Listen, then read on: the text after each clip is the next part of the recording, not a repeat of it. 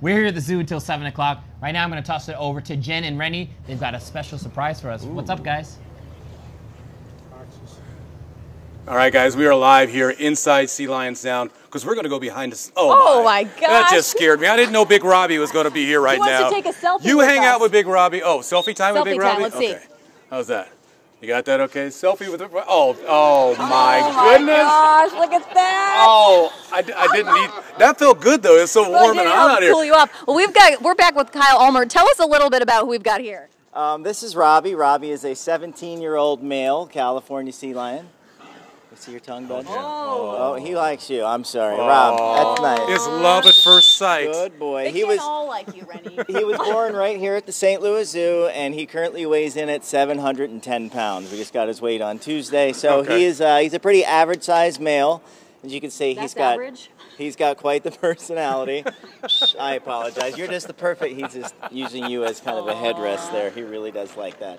But he is one of our uh, our show animals. He's been doing shows since he's been about nine months old, so he's used to you know interacting with our guests and really helping to make those connections and just showing how the St. Louis Zoo is dedicated to caring for animals. And this is just one of the ways we can do that through our training uh, with the animals, working so closely with them.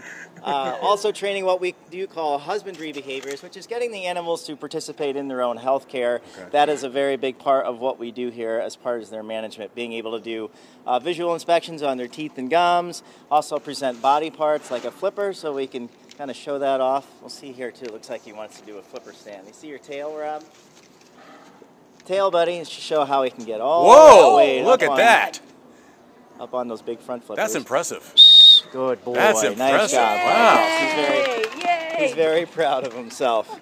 But this is Can just we feed him? Yes. Would you like to toss some fish? Yeah. All right. I tell you what. If you want to take a step back here, Yeah, I'll All right, take a step what do back. What do we do? and all you have to do is just go ahead and toss that up to him. You'll Oh, notice, Hey! you'll right notice how that disappears. toss because the sea mic. lions do not chew their food. They don't. Uh, they have grasping and holding teeth. They have the conical shaped teeth in there. They don't have molars like we do because they don't need them. Because they just grab the fish and gobble it down. That's one of his specialties for sure. And right now, Robby is getting uh, about 20 pounds of food a day. Wow. For Hi, his, su- Robby. his summer diet, which is a little bit lighter. In the wintertime, that'll go well uh, up to well over 40 pounds of fish a day because they All do need more fat and calories in the winter to keep up their metabolism. So. All right. That's a lot Right, of bud? food. Okay, thank you, Kyle. We have No much more to come here from the St. Louis Zoo. Me and Big Robby going to hang out for a bit. See you guys shortly. Oh my, he's heavy.